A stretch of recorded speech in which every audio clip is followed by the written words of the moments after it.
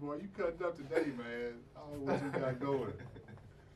You eat some Cheerios. Hey, hey, they you eat uh, some Fruity Pebbles and you feeling good? nah, they was on you heavy in the comments, Gibson. Oh man, this dude called me Pops. He said, "Hey, Pops." I'm like Pops. I couldn't even get mad because I have a dad, so I was like, "Well, I guess I have a Pops in a in a real sense." But it was like a backhand slap. Hey, Pops. hey, Pops, go sit down somewhere. It's new time, man. Oh man! Oh come on, man. That's Will. That's Will. And today on the Bill and Will Show, we talking about Gibson. Oh man, let's go to the second bubble. The second Because bubble. I know LeBron got something to do with this. And then the guys that wasn't gonna play, they started crying. So let's talk about the uh, the second bubble, man. But I know it was the owners, man. Let me introduce the topic. Oh, okay. Golly. All right, the eight teams that didn't make it to the to the real bubble in Disney. Uh, the NBA is talking about striking a deal for those teams to go to uh, Chicago and uh, be in another bubble and go over there and have some mini camps, some training camps. be away from their families also. So when the season gets started, those guys already been quarantined. They have to worry about nobody else getting the ro-ro. Talk about it, Gibson, man. So the owners are upset because the other eight teams, they're gonna make some money. And these guys are gonna be sitting at home. So they started crying. I'm sure of it. They started crying. What about us? So the league said, well, let's open up another bubble. These dudes greedy, man. Golly, greed, greed, greed, greed. Man. So now guess what? There's no incentive to win. You're gonna you're gonna play anyway.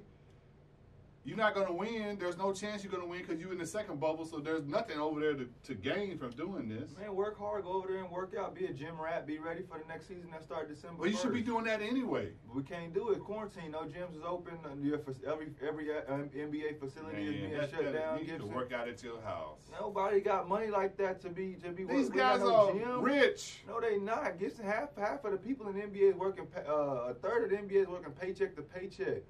We got our girlfriend have a house. Our wife got to take care of our real house. We uh, stuff is going thin. Gibson, we ain't got all of that stuff right now. Okay, so Only the only the elite got the basketball in their crib. Okay, so here's what they should be doing rather than playing basketball then. They should be going to some money management class. Instead of playing basketball, that's not helping you. That's hurting you. You need to go to a money management. There's nowhere in the world you're gonna make three, four hundred thousand dollars a year. I don't know what the league minimum is in basketball. It's four hundred some thousand in football. It's around that. It's around that. You making three hundred thousand dollars a year and you live in check to check. You want somebody to have a basketball uh, court in their house Why wouldn't you? because This is what you do for a living. Yeah, you might have hey, Gibson. That stuff is expensive. Property I got a co- I got a, a computer in my house. and you don't know where you're gonna be next year. You can't you can't continue to uh, to, to buy stuff like that when you don't know where you're gonna be next year. These I- guys ain't on a solidified man. contract. These, these guys, they need to go to a money management class and not to a, a bubble mini camp in Chicago. all this is gonna be is the young guys going over there getting better, developing right now. Because honestly, you got the Knicks. You got what? Stay you gonna put Steph Curry in a bubble. You gonna send Steph Curry that's gonna that makes way more money outside of the bubble than inside of the bubble. Who was that joker that said the Knicks gonna be playing against the Cavaliers?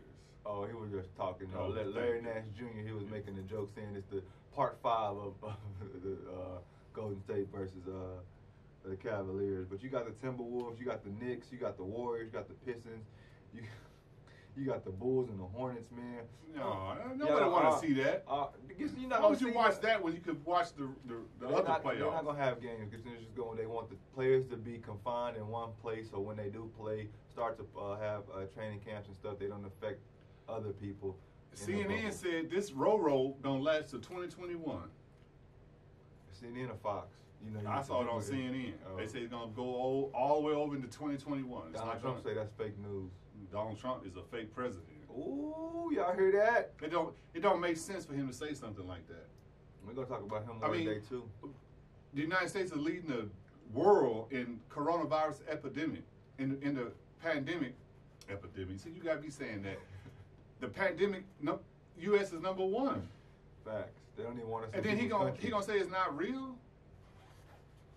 He hadn't said that in a long time, but he still said it wasn't real. But all these people are dead. It is real.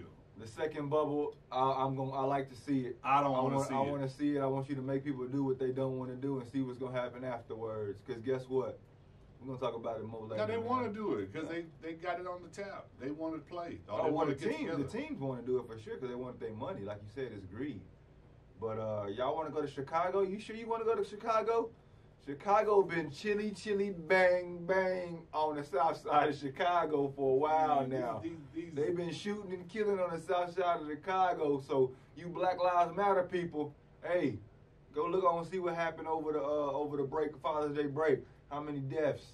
Go see how many deaths is gonna be this past week. You got a three day weekend coming up. You know, ain't nobody working today, tomorrow, or Sunday. It's gonna be hectic in them streets of Chicago. I wanted Black Lives Matter to show up. I don't know why show want to go to Chicago. I don't know why Chicago is historic. Mm-mm. Hey people, y'all better get it right. That's Bill. And that's Will. Now, I'm done with this second bubble. Time for that to burst. Man, these dadgum